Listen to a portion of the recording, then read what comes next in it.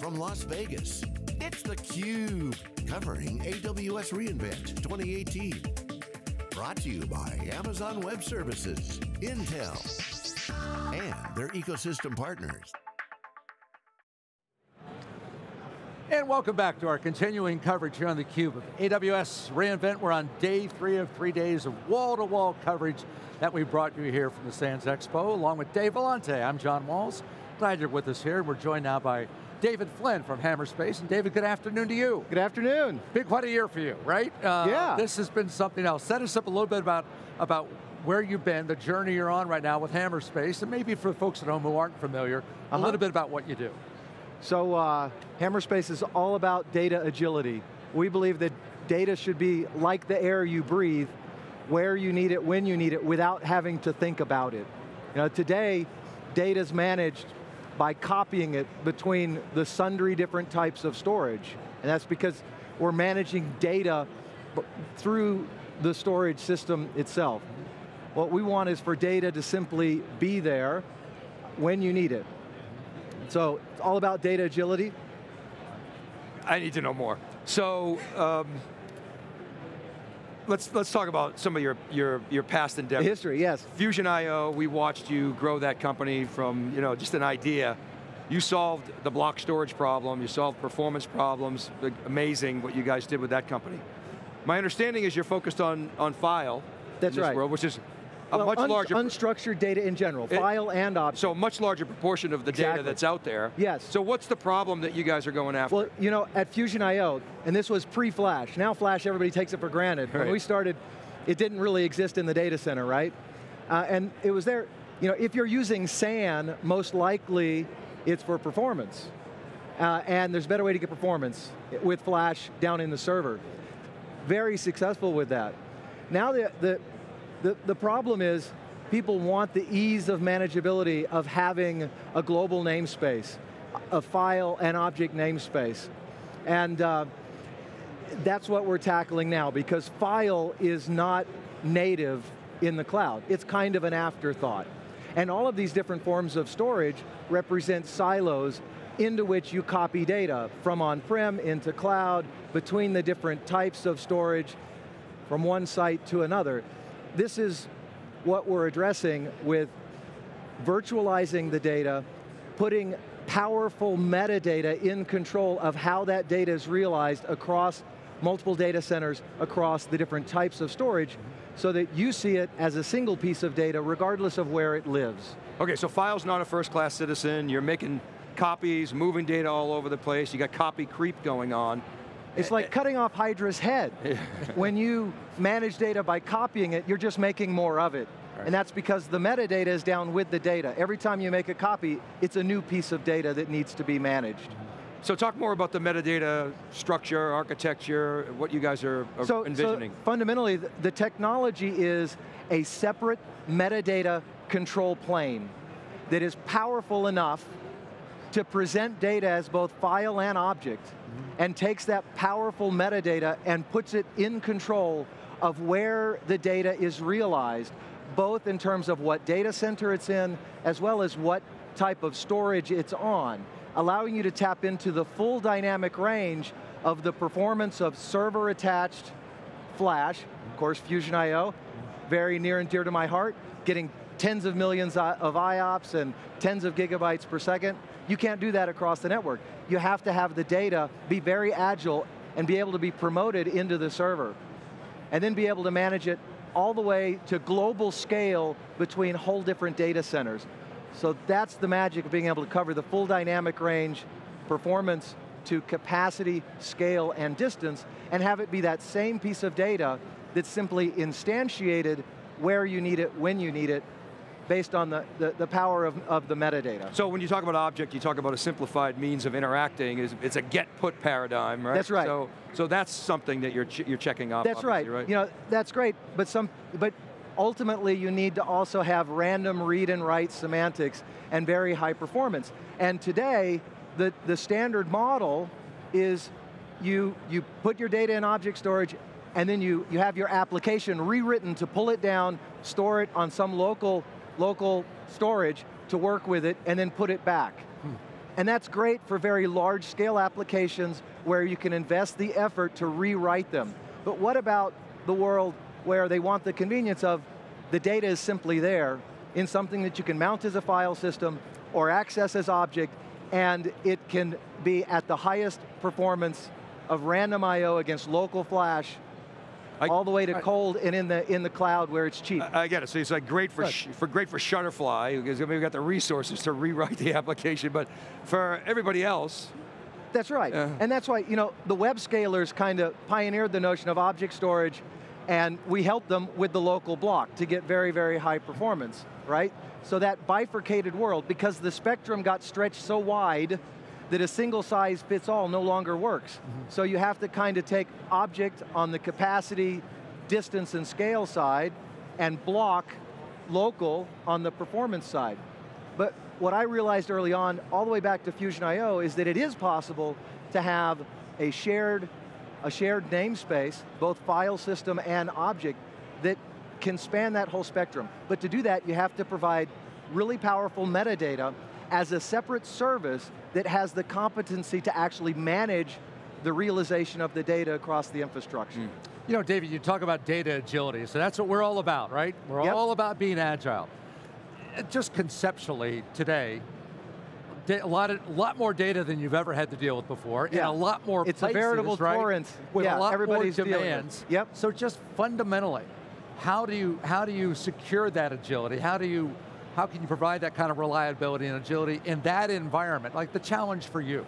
Oh yeah, well, you know, the challenge really goes back to the fact that the, the, uh, the networked storage protocols are, haven't had innovation for like 20 years. Because of the, the world of NAS uh, being so dominant by a few players, well one, um, there really hasn't been a lot of innovation. You know, NFS version 3 it's been around for like decades, right? NFS 4 wasn't, didn't really happen. You know, it was, it was slower and worse off. I mean, at the heart of the storage networking protocols for, for presenting a file system, it hadn't even been enhanced to be able to communicate across hostile networks. So how are you going to use that at the kind of scale and distance of cloud, right? So what I did after leaving Fusion IO uh, was I went and, and, and teamed up with the world's top experts.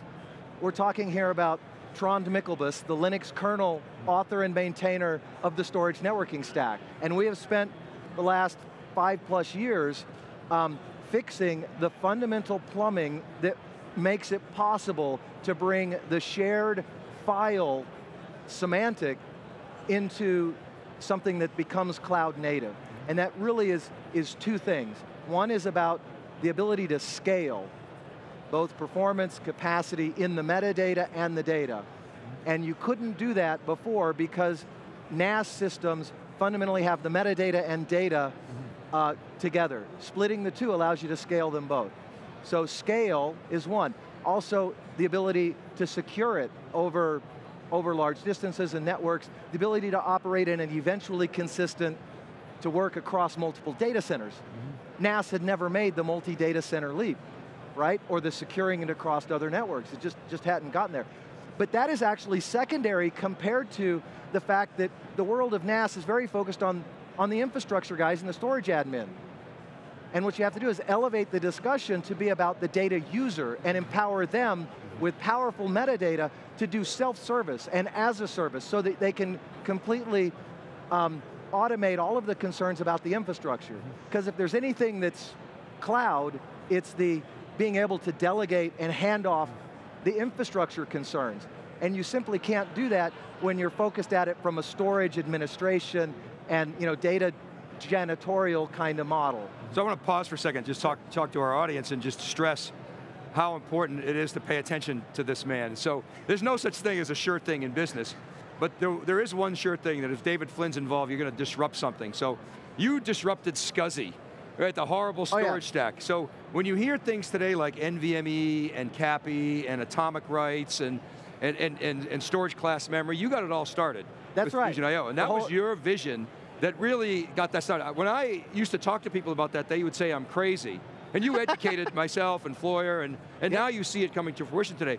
So, so you're taking aim at you know decades old infrastructure and protocols called NAS, and, and trying to do the same thing at cloud scale, which is obviously something that you know a That's lot right. about. I mean, if you think about it, uh, the spectrum of, of data goes from performance on the one hand to ease of manageability, distance and scale, cost capacity versus cost performance.